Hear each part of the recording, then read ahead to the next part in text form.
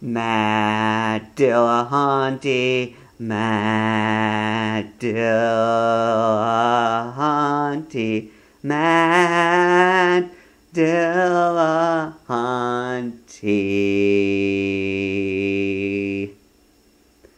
said in a video, I am an enemy of all religion. Now let's reflect on this a second. Actually, a little more. Did he really mean that? If he didn't mean that, we'll let him take it back and say, I misspoke. Everyone's entitled to misspeaking. What I have observed is such rhetoric is typical of atheists.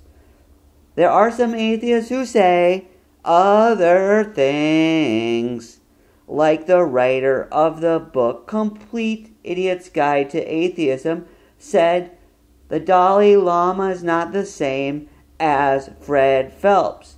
So if Matt Dillahunty is the enemy of all religion, that means he's the enemy of Unitarianism, and Unitarians are rather benign. So are Quakers. He's an enemy of Quakers.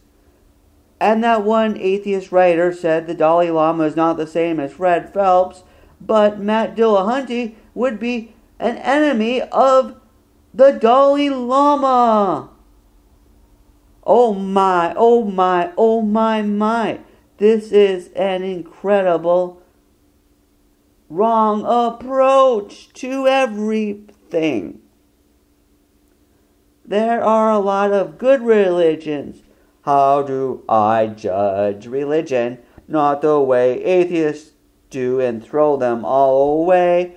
I ask the question what are their stances on social justice issues? And more importantly, what are the actions they take to remedy social ills in our society? Quakers do very well, the enemy of Matt Dillahunty. So do Unitarians, sometimes even Catholics, despite their messed up theology. For example, in Mankato, Minnesota, I knew a woman who was a Catholic nun, yet she was on the picket line fighting against that war in Iraq that that awful President Bush pushed in. So let's consider it in this way. Even Calvinists can sometimes be on the side of social justice.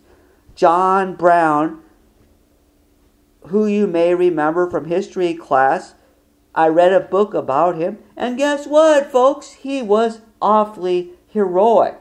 He fought against slavery and he even condemned the Christian preachers who supported slavery. He called them hypocrites, like they are. So, let's judge religions on whether they support social justice. Who cares if you believe in God? If you support social justice, your religion is good. If you oppose social justice, your religion is bad. I'm not an enemy of all religion. If I'm an enemy of any religion, it's religions that oppose social justice. Matt Dillahunty.